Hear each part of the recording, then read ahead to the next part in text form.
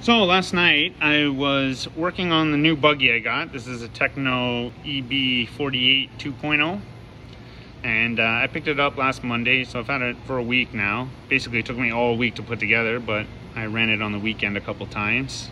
Uh, but the screw came loose for my servo horn here and when I went to go take it off the screw ended up stripping out the end because uh, I didn't have my good bits with me at the track and so today brought it into work I actually have all the drill bits and drilled out the head of the bolt so I can actually just pull this off which left me with just the bottom of the bolt here just a very little tiny you know threaded part. But that's what's nice about this extractor set that I got. And it's kind of hard to see.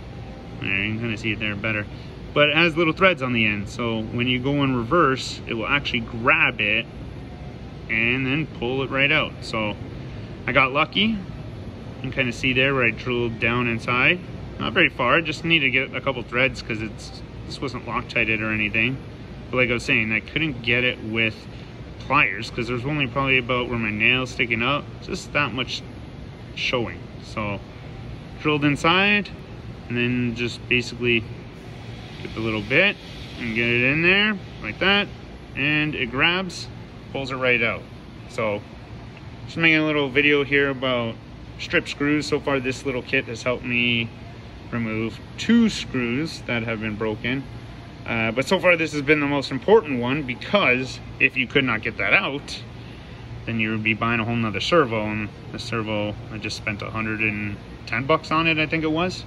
So I only ran it two days so that would have sucked if I had to replace the servo because of a screw being stuck all the way in there. So it's a little heads up for anyone that has um, stri uh, stripped screw heads or even broken off the whole head completely and there's just this little threaded part back in the bottom. Um, you basically are definitely going to need uh, extractor kit like this. So this does lots of sizes. I mean, there's definitely, that's one of the smallest ones in here. Uh, actually, I think that is the smallest one because this one was still a little tiny bit bigger. And then they go down all the way to, you know, pretty big size here. So these little bits, they come with like a little drill end on it.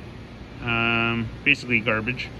So that's kind of why I had to bring it into work where I had all my drill bits, but I mostly just bought this just for these extractors themselves.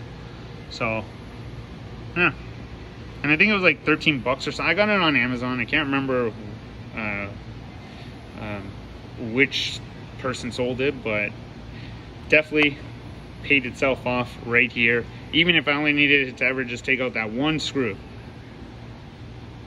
Huge difference. So I'll make a video all about this car uh, coming up just because uh, I was having way too much fun driving it at the track and yeah I got some some couple little parts coming for it. Uh, I might be doing like titanium turnbuckles, some stuff to also help with the weight, but man, this thing is so much fun at the track. Um, yeah, I'll have to shoot some video. Maybe I'll stop by during the week after I get it back together. Make sure everything works good for the weekend, but yeah, maybe on the weekend I'll film some uh, actual racing uh, that we do at the track. So thanks for watching.